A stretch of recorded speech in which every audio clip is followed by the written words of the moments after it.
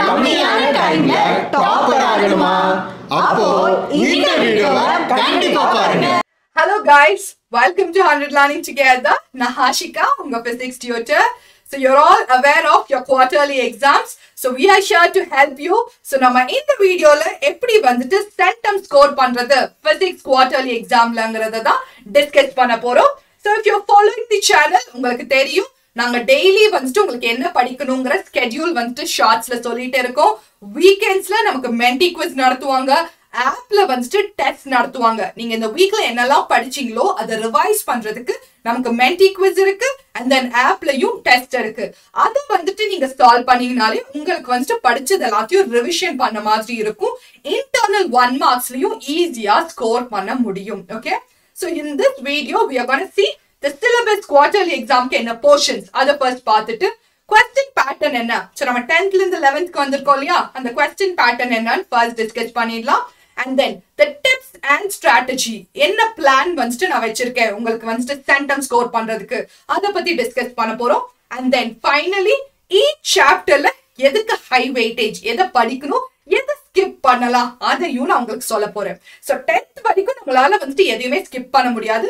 But லெவன்த்ல கொஞ்சம் skip பண்ணாலும் நமக்கு வந்துட்டு சென்டென்ஸ் கோ பண்ண முடியும். ஸோ அந்த ஸ்ட்ராட்டஜி என்னன்னா நான் உங்களுக்கு எக்ஸ்பிளைன் பண்ண போறேன். Okay so hope you are ready so we are getting in to the syllabus for the quarterly exam so நமக்கு வால்யூம் ஒன் ஃபுல்லா இருக்கு. ஸோ ஃபைவ் சாப்டர்ஸ்மே இருக்கு. வால்யூம் ஒன் ஃபுல்லா படிச்சிடணும். வால்யூம் டூல கிராவிடேஷன் சாப்டர் இன்க்ளூட் பண்ணியிருக்காங்க. So this is your quarterly portions okay now the question pattern question pattern எப்படி இருக்க போகுது? ஸோ இது ஃபோர் பார்ட்ஸா நமக்கு இருக்கு. ஸோ ஃபர்ஸ்ட் பார்ட்ல one marks MCQ type questions 15 questions answer பண்ணணும். So book back is important book back cover பண்ணுங்க ஃபர்ஸ்ட் அதுக்கப்புறம் தான் இன்டர்னல் கொஸ்டின்ஸை வந்துட்டு நம்ம ஃபோக்கஸ் பண்ணணும். அண்ட் தென் பார்ட் டூல வந்துட்டு நைன் கொஸ்டின்ஸ்ல இருந்து கொஸ்டின்ஸ் வந்துட்டு ஆன்சர் பண்ணா போதும் ஆனா ஒரு question compulsory okay so part two it's two marks nine கொஸ்டின்ஸ்ல six questions தான் அட்டம் பண்ண போறோம். ஸோ த்ரீ கொஸ்டின்ஸ் சாய்ஸ் இருக்கு. ஒரு கொஸ்டின் மட்டும் கம்பல்சரி அண்ட் தென் பார்ட் த்ரீலயும் நமக்கு நைன் கொஸ்டின்ஸ்ல சிக்ஸ் கொஸ்டின்ஸ் தான் ஆன்சர் பண்ண போறோம். That is three mark questions so இங்கேயும் நமக்கு த்ரீ கொஸ்டின்ஸ் வந்துட்டு சாய்ஸ்ல வந்துட்டு விட முடியும். ஸோ இந்த சாய்ஸ் இருக்கும்போது நமக்கு லீஸ்ட் இம்பார்ட்டண்டா இருக்கிற கான்செப்டை ஸ்கிப் பண்ணிட்டு போனாலும் நம்மளால ஆன்சர் பண்ண முடியும். The advantage is part four ஏன்னா அது five mark question with internal choice okay so with internal choice தான் வந்துட்டு நமக்கு ஃபைவ் மார்க் கொஸ்டின்ஸ் வந்துட்டு கேட்குறாங்க இன்டர்னல் சாய்ஸ்னா என்ன? ஒரு கொஸ்டின் ஃபர்ஸ்ட் கொஸ்டின்ல டூ கொஸ்டின்ஸ் இருக்கும். ஸோ அது ரெண்டுல ஏதாவது ஒரு கொஸ்டின் அட்டம் பண்ணலாம். செகண்ட் கொஸ்டின்ஸ்லயும் டூ கொஸ்டின் இருக்கும். அதுல ஏதாவது ஒரு கொஸ்டின் ஸோ அந்த மாதிரி இருக்கும்போது இப்போ நமக்கு குவார்டர்லியில மொத்தமாவே சிக்ஸ் சாப்டர்ஸ் தான் இருக்கு. ஸோ சிக்ஸ் சாப்டர்ஸ்ல இருந்து ஃபைவ் கொஸ்டின்ஸ் அட்டம் பண்ணணும்னா நம்ம ஒவ்வொரு சாப்டர்லயும் ஒன் ஹாஃப் வந்துட்டு தெளிவா படிக்கலைனாலும் கூட நம்மளால சென்டம் கோ பண்ண முடியும். Okay so this is the main strategy you'll have to plan and study எது ஹை வெயிட்டேஜ்னு பார்த்து அதுக்கு தான் நிறைய இம்பார்ட்டன்ஸ் கொடுக்கணும். மற்றதுக்கு ஜஸ்ட் மேலோட்டமா அந்த கான்செப்ட் என்னன்னு தெரிஞ்சுட்டு போனாலே ஈஸியாக ஸ்கோர் பண்ண முடியும். Okay so this is our pattern now how to study effectively for exams எப்படி படிக்கிறது? So what is our target now? 20 days time இருக்கு சிக்ஸ் சாப்டர்ஸை நம்ம கம்ப்ளீட் பண்ணணும். இதுதான் டார்கெட் இப்போவே ஃபிக்ஸ் பண்ணிக்கணும். நமக்கு வேற எங்கேயுமே யோசிக்க முடியாது. அந்த சென்டர் பாயிண்ட் தான் டார்கெட் ஸோ நம்ம சிக்ஸ் சாப்டர்ஸை டுவெண்ட்டி டேஸ்ல கம்ப்ளீட் பண்ண போறோம். நமக்கு வேற ஆப்ஷனே இல்லை. Only then we can score centum ஏன்னா நம்ம சென்டமை நோக்கி தான் போயிட்டு இருக்கோம். Okay so now what is the plan எப்படி மேம் படிக்கிறது? டுவெண்ட்டி டேஸ் இருக்கு. ஸோ டுவெண்ட்டி டேஸ்ல நான் சிக்ஸ் சாப்டர்ஸை கம்ப்ளீட் பண்ணணும்னு சொல்லிட்டீங்க.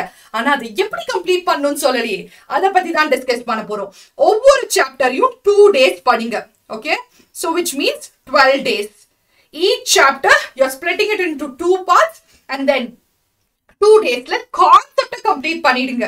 ஹையா வெயிட்டேஜ் இருக்கிறத நல்லா படிச்சு மற்ற கான்செப்ட் என்ன இருக்குன்னு பார்த்து வச்சுக்கணும். That's the first thing that you'll do and then next six டேஸ்ல வந்துட்டு சிக்ஸ் சாப்டர்ஸ் வந்துட்டு புக் பேக் கொஸ்டின்ஸ் மட்டும் படிக்க போறீங்க. So six சாப்டர்ஸோட book back questions book back questions மட்டும் படிக்க போறோம். ஸோ அதுக்கு சிக்ஸ் டேஸ் ஆயிடும். And then last two days இருக்கிற ப்ராப்ளம்ஸ் எல்லாத்தையும் படிக்க போறீங்க. ஸோ டுவெண்ட்டி டேஸ்க்கு இதுதான் plan first two two days time எடுத்து எல்லா சாப்டரையும் கம்ப்ளீட் பண்றீங்க. அண்ட் தென் ஒன் டேல ஒரு சாப்டரோட புக் பேக் ஃபுல்லா கோ த்ரூ பண்ணிடுறேன். ஏன்னா ஆல்ரெடி படிச்சிட்டோம் இல்லையா? புக் பேக் வச்சுட்டு ஜஸ்ட் ரிவைஸ் தான் பண்ண போறோம். So always learn revise and then solve this is the strategy எப்போதுமே ரிவிஷன் ரொம்ப ரொம்ப இம்பார்ட்டன்ட் சிக்ஸ் சாப்டர்ஸ் இருக்கு. ஒன் டே தான் டைம் இருக்கு. எப்படி ரிவைஸ் பண்ணணும்னா நம்ம கண்டிப்பா ரிவிஷன் பண்ணணும். அப் அதுக்கு ஷார்ட் நோட்ஸ் எடுத்து வைக்கணும். அந்த ஃபுல் சாப்டரையும் ஒரு ஷார்ட் நோட்ஸா எடுத்து வச்சுக்கணும். அந்த நோட்ஸை தான் ரிவைஸ் பண்ணிட்டு போகணும். மறுபடியும் ஃபர்ஸ்ட்ல இருந்து படிக்க முடியாது. நம்ம நோட்ஸ் எடுத்து வச்சுட்டு அதை தான் நம்மளால ரிவைஸ் பண்ண முடியும். Okay revision the very important thing to score centum revise பண்ணாம போனா சென்டம் எல்லாம் ஸ்கோரே பண்ண முடியாது okay so you have to learn you have to revise them and you'll have to try to solve the problem. So this is important. So this is how we have planned. So நம்ம target என்னன்னு பார்த்துட்டோம் அந்த target எப்படி achieve பண்ண போறோங்கிற ஒரு simple plan நான் அவங்களுக்கு கொடுத்துட்டேன் see we are gonna score centum நமக்கு ஒரு டுவெண்ட்டி டேஸ் தான் இருக்கும் ஸோ ஒரு டுவெண்ட்டி டேஸ் கொஞ்சம் ஹார்ட் ஒர்க் பண்ணி ஓகேவா எக்ஸ்ட்ரா ஹார்ஸ் வந்துட்டு படிச்சோம்னா நம்மளால கண்டிப்பா சென்டென்ஸ் ஸ்கோர் பண்ண முடியும். லெவன்த்து தானே அப்படின்னு நினைக்க வேண்டாம். லெவன்த் தான் பேசிக் லெவன்த் நம்ம எவ்வளோ ஸ்ட்ராங்கா இருக்கோமோ அவ்வளோக்கு அவ்வளோ காம்படிட்டிவ் எக்ஸாம்ஸ்ல நமக்கு ரொம்ப ஹெல்ப்ஃபுல்லா இருக்க போகுது. So please don't take it for easy கிராண்டடா எடுத்துக்க வேண்டாம். லெவன்த்தையும் கொஞ்சம் கான்சென்ட்ரேட் பண்ணி படிங்க okay so here what is the focus area எதுலலாம் நம்ம ஃபோக்கஸ் பண்ணணும்? அதுக்கான டிப்ஸ் என்ன? அதுதான் டிஸ்கஸ் பண்ண போறோம். So first thing understanding the concept with example ஒரு கான்செப்ட் படிக்கிறோம்னா அது அதோட எக்ஸாம்பிள் கூட படிக்கணும். நம்ம ரியல் லைஃப் கூட ரிலேட் பண்ணி படிங்க. The beauty of physics is we are studying about nature the things around us அதை பத்தி தானே படிக்கிறோம். ஸோ நம்ம ஏதாவது ஒரு கான்செப்ட் படிச்சோம்னா நம்ம சுத்தி இருக்கிறத வச்சு நம்ம அதை ரிலேட் பண்ணிக்க முடியும். That's the first thing that you'll do and then knowing the keywords ஒரு கொஸ்டின் படிச்சீங்கன்னா அதுல இம்பார்ட்டன்ட் வேர்ட் என்னன்னு தெரியணும். எக்ஸாம்ல அதை ஹைலைட்டும் பண்ணணும். நம்ம படிக்கும் போதே அதை அண்டர்லைன் படிச்சு பண்ணி வச்சுட்டீங்கன்னா ஓகே இது இம்பார்ட்டன்ட் வேர்ட் ரிவிஷன் அப்போ அந்த வேர்டை மட்டும் பார்த்தாலே போதும். மறுபடியும் ஃபுல் சென்டென்ஸ் படிக்கணும்ட்டு இல்ல. This is the important tip okay எப்போதுமே படிக்கும் போது இம்பார்ட்டன்ட் வேர்ட்ஸை அண்டர்லைன் பண்ணிக்கோங்க. அந்த வேர்ட்ஸை மட்டும் ரிவைஸ் பண்ணாலே போதும். டேக்கிங் ஷார்ட் நோட்ஸ் நான் சொன்னேன் இல்லையா நோட்ஸ் எடுக்கிறது ரொம்ப ரொம்ப இம்பார்ட்டன்ட் ஏன்னா ஃபுல்லா படிக்க முடியாது. ஒன் புக்கையே நம்ம படிக்கணும் ஒரு நாள்ல? அந்த புக்கை ஃபுல்லா ரிவைஸ் பண்ண முடியாது. நம்ம ஃபர்ஸ்ட் டே படிச்சிருவோம். ஸோ இந்த நோட்ஸை வச்சு தான் நம்ம ரிவைஸ் பண்ண போறோம். Okay and then making formula sheets for numericals so என்னெல்லாம் ஃபார்முலாஸ் இருக்கு? அந்த ஃபார்முலாஸ் எல்லாத்தையும் ஒரு ஷீட்ல எழுதி வச்சுக்கணும். அப்போ அந்த ஃபார்முலாஸை மட்டும் படிச்சாலே கொஸ்டினை வச்சு அந்த ஃபார்முலா என்னன்னு நம்ம கெஸ்ட் பண்ணிட்டாலே ஈஸியாக சம்ம சால்வ் பண்ண முடியும். So formula sheet is important knowing all possible units இப்போ ஒரு பிசிக்கல் குவான்டிட்டி இருக்குன்னா அதில் இருக்கிற எல்லா யூனிட்டுமே நமக்கு தெரியணும். I give you an example இப்போ ஒர்க்கோட ஃபார்முலா என்ன? Force into displacement so Newton மீட்டர்னு சொல்லலாம் இது ஜூல்னு சொல்லலாம்.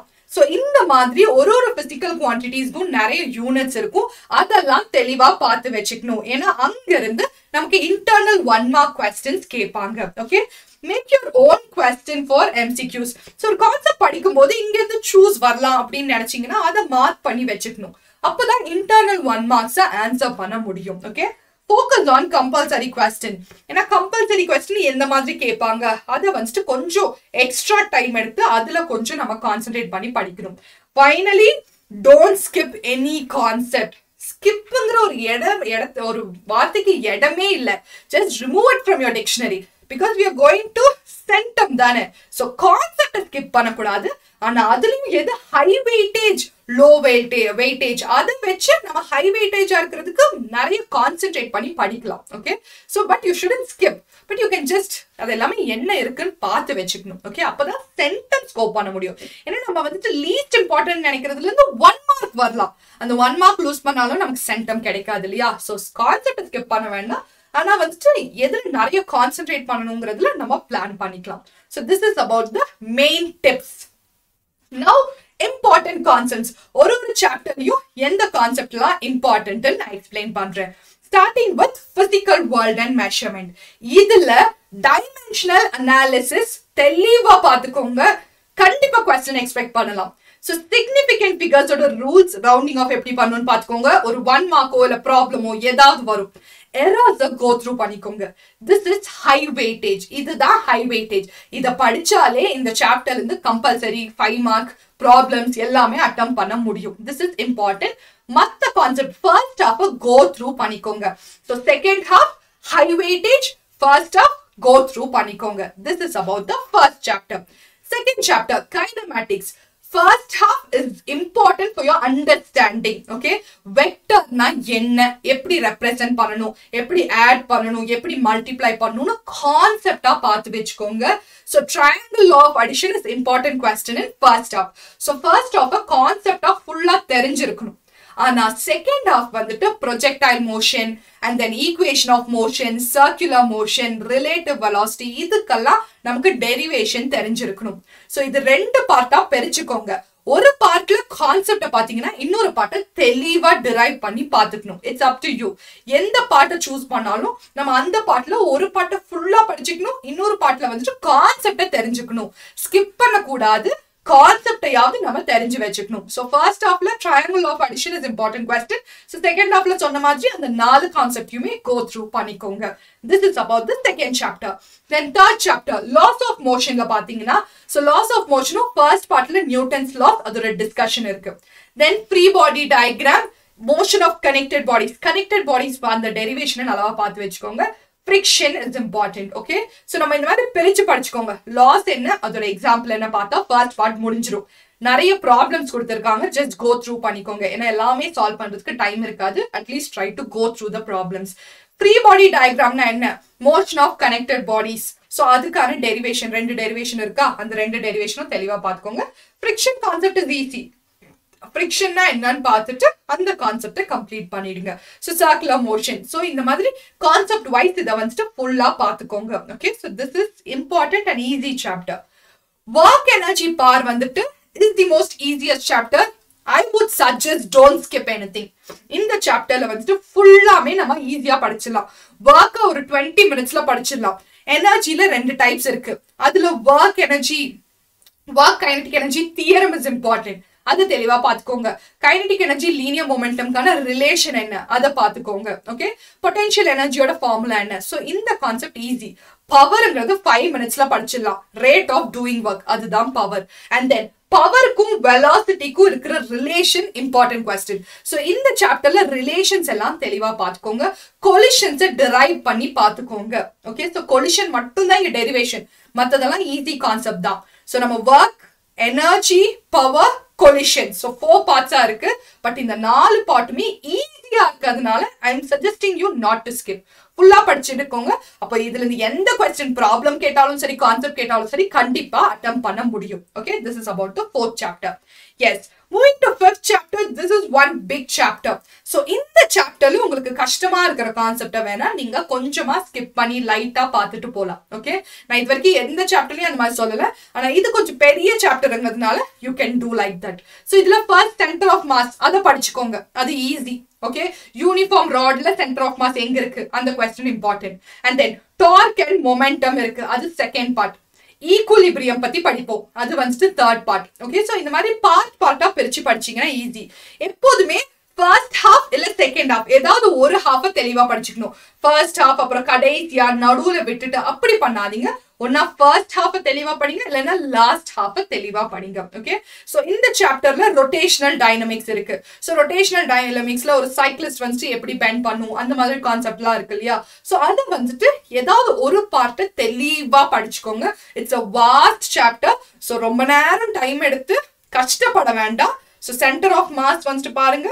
டார்க் அண்ட் மொமெண்டம் பாருங்க ஈக்குவலிபிரியம் என்னன்னு பாருங்க. இல்ல செகண்ட் ஹாஃப் எனக்கு ஈஸியா இருக்குன்னா செகண்ட் ஹாஃப் தெளிவா பாத்துக்கோங்க. சோ ஏதாவது ஒன் ஹாஃப் தெளிவா பாத்துக்கோங்க. அப்போ ஃபைவ் மார்க் அட்டம் பண்ணிடலாம். டூ மார்க் கேட்டாலும் சாய்ஸ்ல விட்டுறலாம் ப்ரொவைடட் ஃபர்ஸ்ட் ஃபோர் சாப்டர்ஸ் நல்லா படிச்சிருந்தீங்கன்னா ஒருவேளை இந்த சாப்டர் உங்களுக்கு ஈஸினா வேற ஏதாவது ஒரு சாப்டர்ல ஃபர்ஸ்ட் ஹாஃபோ இல்ல செகண்ட் ஹாஃபோ கவர் பண்ணலாம். Okay and then last one gravitation so நம்ம Kepler's law first important and then gravitational potential எனர்ஜினா என்ன கிராவிடேஷனல் ஃபீல்ட்னா என்ன the important concept is variation of acceleration due to gravity with altitude, depth and latitude. அது தெளிவா பார்த்துக்கணும் அதுல இருந்து கண்டிப்பா ஒரு கொஸ்டின் எக்ஸ்பெக்ட் பண்ணலாம் that is only the important concept in this chapter okay அது தெளிவா பார்த்து வச்சுக்கோங்க and then escape sea speedனா என்ன And then how ஒரு லிஃப்ட்ல நம்ம போகும்போது அப்பேரண்ட் வெயிட் எப்படி மாறுது இதை பார்த்து வச்சாலே இந்த சாப்டர் கம்ப்ளீட் ஆகிடும் this is easy chapter so try to cover it completely okay